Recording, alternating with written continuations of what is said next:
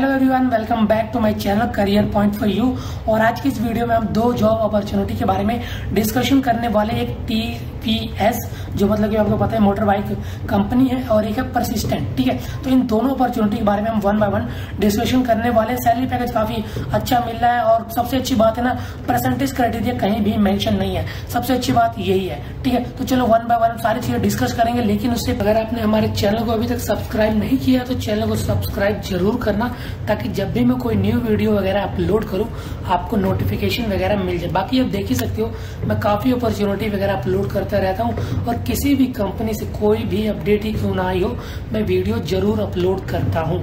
तो बाकी आप देख सकते हो काफ़ी ज़्यादा मैं हायरिंग से रिलेटेड भी वीडियो तो अपलोड करते रहते चलो फिर वन बाय वन सबसे पहले हम डिस्कस करते हैं। तो सबसे पहले हम बात कर लेते हैं परसिस्टेंट की तरफ़ से जो आ रही पाइथन डेवलपर की। तो पाइथन डेवलपर की अगर बात हुई तो आपको पाइथन आनी चाहिए, जैसे यहाँ पे डेवलपर की नीड है। तो यहाँ पे अगर आप देख सकते हो, मैं पढ़ के आपको वन बाय वन चीज़ें सुना ही देता हूँ। आपको क्या क्या आना चाहिए पाइथन के फ्रेमवर्क मतलब की जेंगो फ्लास्क पिरामिड देन आप देख सकते हो पाइथन डेवलपर होने में आपको वहाँ पे एक्सपीरियंस होना चाहिए पाइथन डेवलपर में। ठीक है।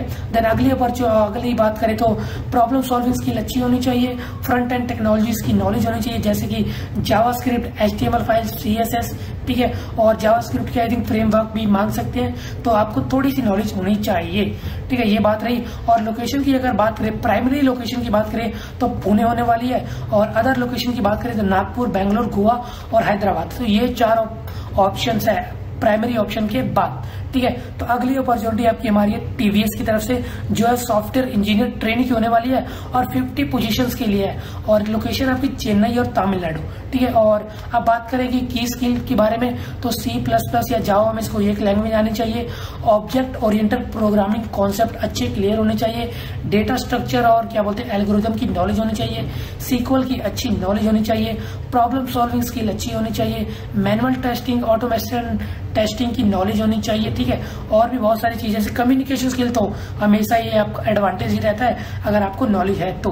और इसमें एलिजिबल आपके देख सकते हो? बी बीटेक वाले ही हैं और कोई भी नहीं। और लास्ट डेट इसकी छब्बीस अगस्त तो काफ़ी मतलब कि देर तक आप अप्लाई कर सकते हो। जैसे कि आज उनतीस मई तो कल ही आई है तो अप्लाई ज़रूर करना, ठीक है? मैं हमेशा यही कहता हूँ अप्लाई करना बिल्कुल भी मत भूलना। माना कि दो महीने पर जितना जल्दी अप्लाई करो, क्या पता आपको उतनी जल्दी उनकी तरफ़ से शॉर्ट लिस्ट का ईमेल आ जाए। ऑनलाइन टेस्ट वगैरह के लिए आप जल्दी जल्दी अपियर हो जाओ, ठीक है? बस फिर आज की वीडियो में इतना ही, और वीडियो में से दोनों में से किसी भी अपॉर्चुनिटी में अगर आप एलिजिबल होते हो तो अप्लाई ज़रूर करना, ठीक है? बस फिर आज की वीडियो में इतना ही। वीडियो पसंद आए तो लाइक करना चैनल पे न्यू सब्सक्राइब कर देना बेल आइकन दबाना बिल्कुल भी मत भूलना। मिलते हैं आपको नेक्स्ट वीडियो में नए टॉपिक साथ। Thank you so much for watching have a nice day bye bye